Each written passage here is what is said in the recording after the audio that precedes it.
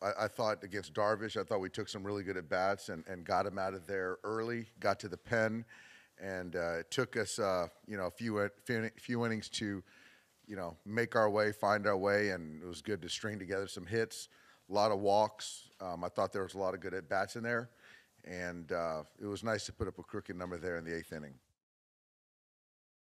I, I think the bigger picture it's significant because you've got such a generational talent that uh, you know is on your ball club in a big market in Los Angeles. Um, that that's you know there's a lot more eyeballs on on the Dodgers and on Major League Baseball.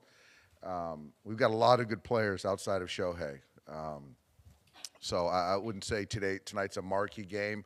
I thought you know Tyler kept his wits about him, kept us in the ball game, and uh, the offense came alive at the end. So it was a, it was a good ball game, and I expect more games like this. It was cool. It was a really cool experience. Super unique. Uh, I'm glad we got to get a, a win.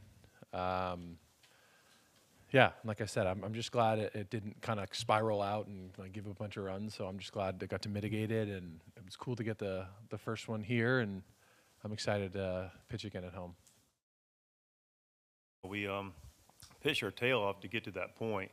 Um, you know, threw together a lot of at bats, a lot of deep counts, ran through some guys, and um, yeah, I mean it's two-two game. It's a double play ball, goes through his web. You know, we're still tied, maybe still playing. So, um, yeah, didn't go our way.